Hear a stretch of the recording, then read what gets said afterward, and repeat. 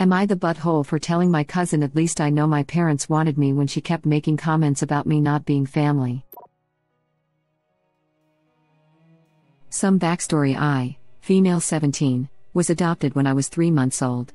My cousin, 17 female, is my grandparents' only bio grandchild, but she seems to be the only one that cares about that.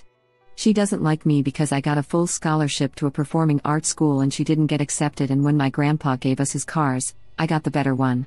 We had a family dinner last week and my grandparents asked about my BF. My grandma jokingly asked when we're getting married because she wants a great grandchild.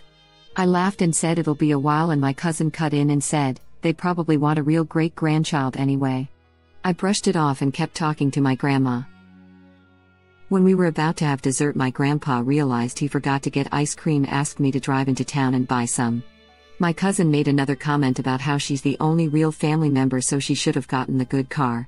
My grandpa told her to shut up and that I got the new car because I help them out and come to visit them almost every day and she doesn't. After dessert, my grandpa said we should take my sister, 14, to the backyard and teach her how to drive the golf cart. I agreed and told her I was driving that thing into town to run errands all the time when I was her age. My grandpa then told her maybe if she likes driving it, he'll give it to her. My cousin lost it. She started screeching that it's not fair that we get everything and we're not even their real family. That pissed me off because she said it in front of my youngest sister, 4, made her cry, so I snapped at her and said, At least we know our family wanted us. Cousin screamed and stormed off, and my sisters got more ice cream. My grandparents think that was hilarious and I was totally in the right. My dad also thinks I'm in the right, but my mom thinks that was mean and I should apologize, so I wanted to know if I was the butthole. Not the butthole. How long can she continue to be disrespectful before someone snapped at her? She got what she deserved and it wasn't as you were overly mean to her. She honestly just sounds spoiled rotten. Just like Joker said, you get what you effing deserve. Childhood is idolizing Batman. Adulthood is realizing the Joker may have a point. Sociopathy is relating with the womanizing psychopathic murderer slash crime lord. And idiocy is writing off an entire topic as evil without taking any time to understand it. It has nothing to do with relating to the Joker, it's the philosophical opposition between Batman and Joker. OMG, yes. This is the perfect way to explain it. Thank you. The Joker's philosophy mostly revolves around getting people to hurt and kill each other, throughout his entire run as a character.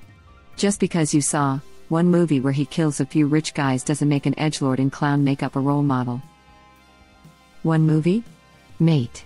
Have you seen The Dark Knight? And this is just touching on the live action films. Is your image of Joker derived entirely from the Keaton era? West era? Because the Joker of today is a far cry from just getting people to hurt and kill each other. Now I want to make it clear that I do not mean he should be a role model. I actually agree with the commenter above who compares it to sociopathy. Because the actions of Joker are absolutely devoid of empathy or emotion, and to emulate those actions would require the same lack of empathy. However, that doesn't mean that we cannot have a discussion on the deeper philosophical questions he addresses. And it does not mean we cannot find a little bit of truth in his answers, even when we would not agree with his actions. This is how Joker is a foil to Batman, and this is the line their story always follows. And it's the story you missed if you really think Joker boils down to just a big bully in clown makeup. He's literally a terrorist in the Dark Knight. If he was Arab, I guarantee no one would agree with what he says. There's a reason incels worship him. Terrorists have a point about America effing over the Middle East, but that doesn't mean I find a little bit of truth in their rhetoric, because they are terrorists. That whole movie was about the Patriot Act, and framed the Joker as a sort of bin Laden figure. Terrorists have a point, but I won't find a little bit of truth in it. But you literally just did, you just said they have a point. You just said exactly what I was talking about. That Joker is a horrible person who does horrible things. And we should not applaud or aspire to those things. But, sometimes, he has a point that resonates with us. Such as the eat the rich mentality of 2019 Joker, or the agent of chaos slash anarchy of Dark Knight. Which, yes, can be taken as a commentary on the Patriot Act. And yes, Joker played the role of the terrorist. But he showed the length that Batman was willing to go in order to keep the city safe, and how Batman's methods weren't working. He showed that Batman is also a villain in this story, infringing on the rights of Gotham's people to fuel his need for the justice he believes is right. There's a great case to be made that Joker was the one to actually clean the streets, seeing as he wiped out crime syndicates, got rid of corrupt officials, and forced the city's rampant vigilante into hiding. When Dark Knight Rises starts, Gotham has seen eight years of relative peace, thanks to the events of The Dark Knight. Do you see what I mean about the character being complicated? It's never a cut and dry he's a psycho, unless you're watching Suicide Squad lol. Thank you, this actually changed my mind a bit. Have you seen The Dark Knight? Because the Joker of today is a far cry from just getting people to hurt and kill each other. This is the film you're talking about, right? Web link. Personally, I consider the killing joke to be the definitive Joker.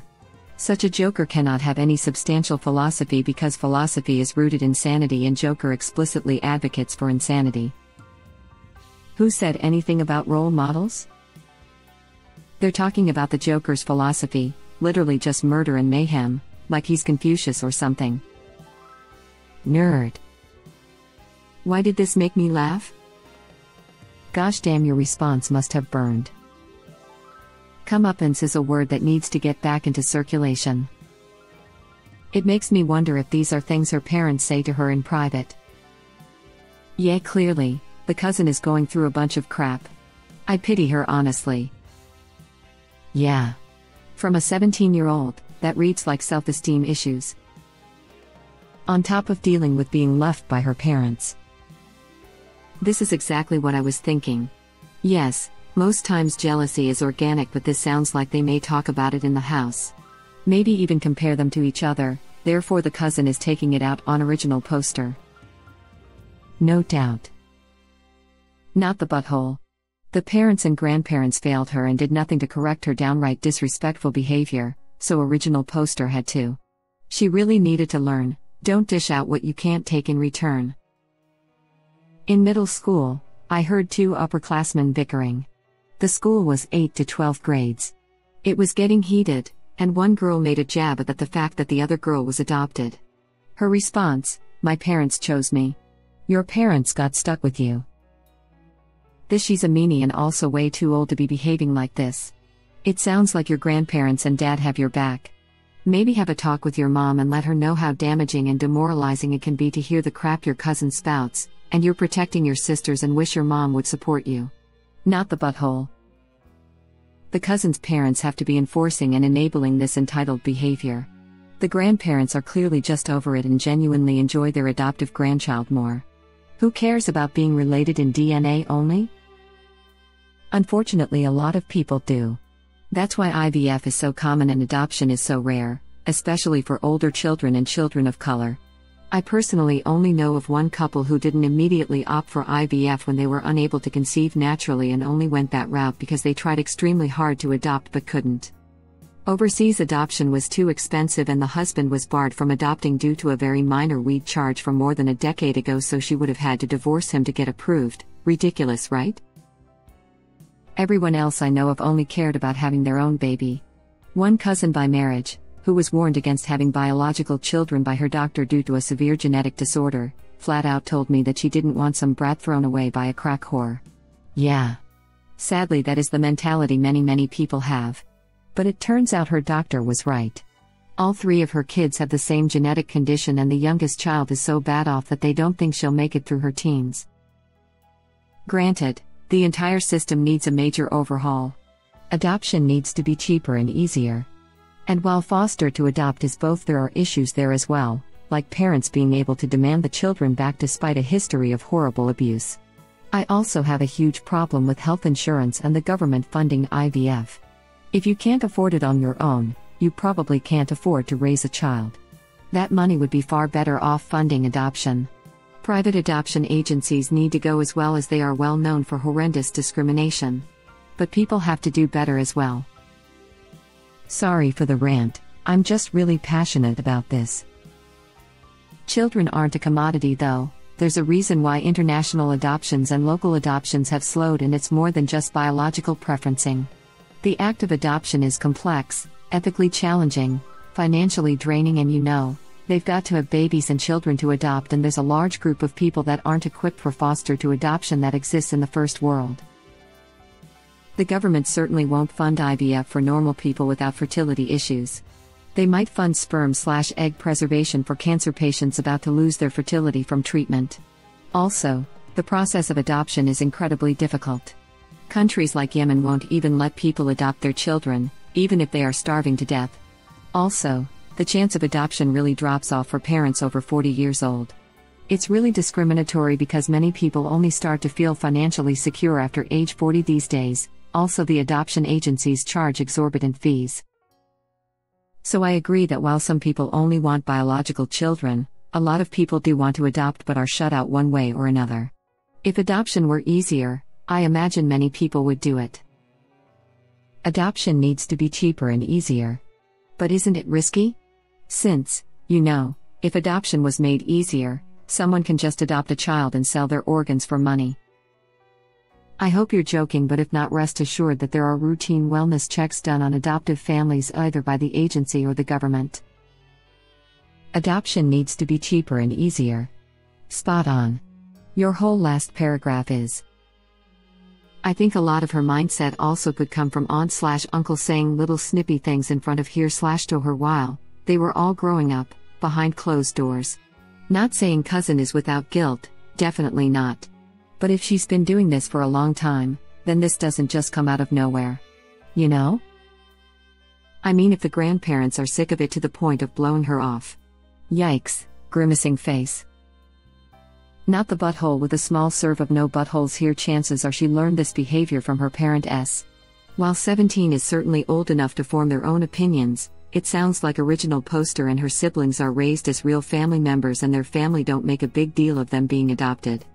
The most likely thing is the cousin's parent who is related to the grandparents feels like their role of providing real grandkids has been not sufficiently recognized and celebrated and complains about it when out of their parents' earshot.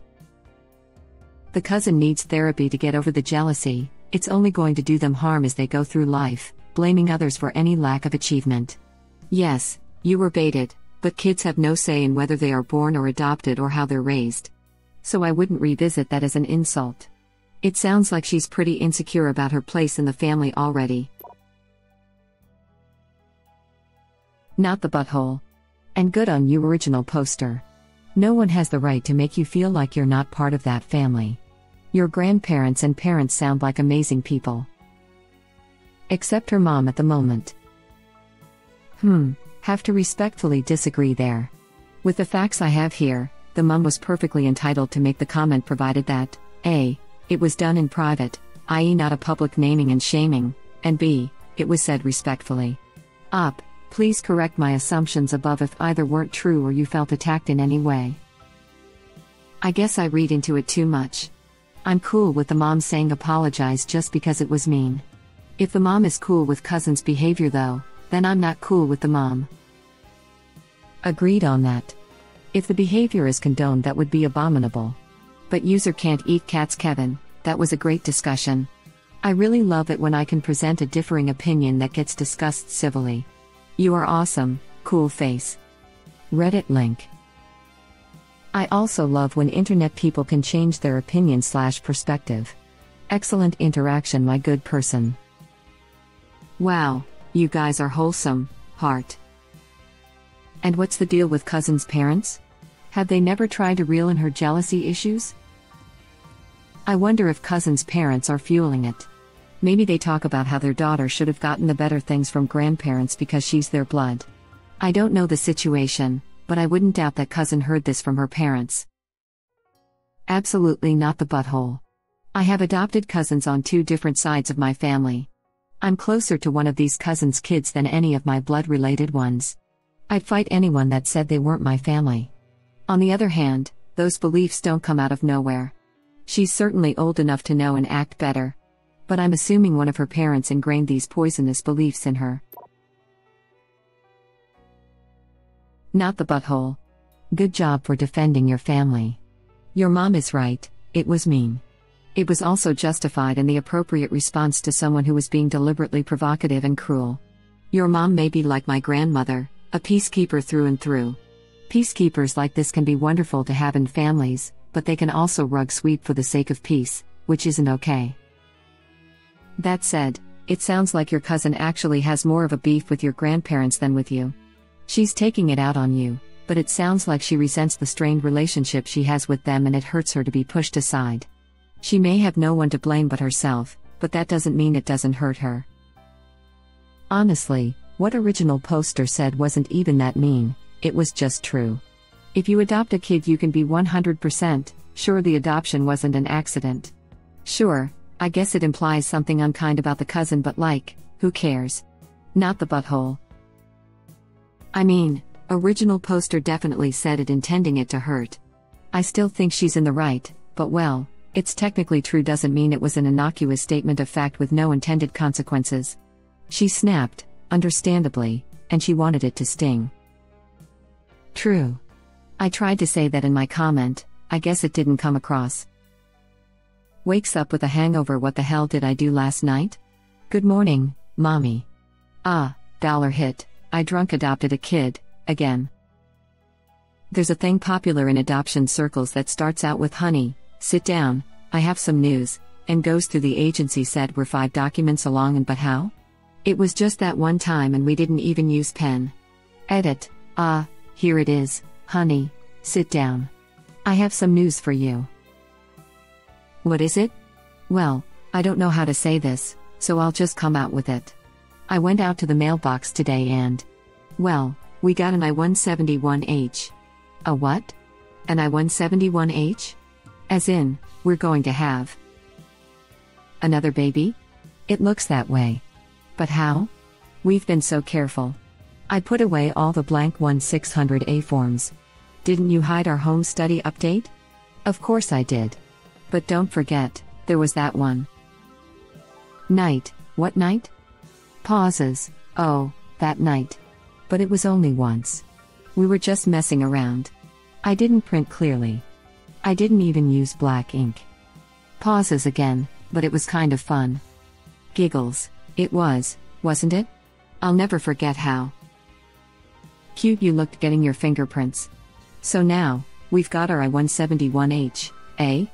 But that doesn't always mean you'll adopt, does it? I mean, shouldn't you see the agency or something, make sure everything's okay? I already did. And I'm five documents along. Five documents. And they're all notarized, certified, and authenticated, okay? Just great. There was one small scare when the agency couldn't see the notary's middle initial, but it showed up just fine under the magnifying glass. Thank God. And you, honey? Are you feeling okay? I'm feeling fine. As long as I know, you're happy about this. Happy? I'm thrilled. It's always a shock at first when something like this happens, but of course, I'm happy. Is it? It is too late to shred it? Onk. I just sprayed coffee out my nose. Thank you for watching. Please subscribe to be the first to know about Red Rabbit Reader's new videos. If you like our videos, please like them on YouTube and share them with your friends. We welcome your comments below. Press to start another of our videos.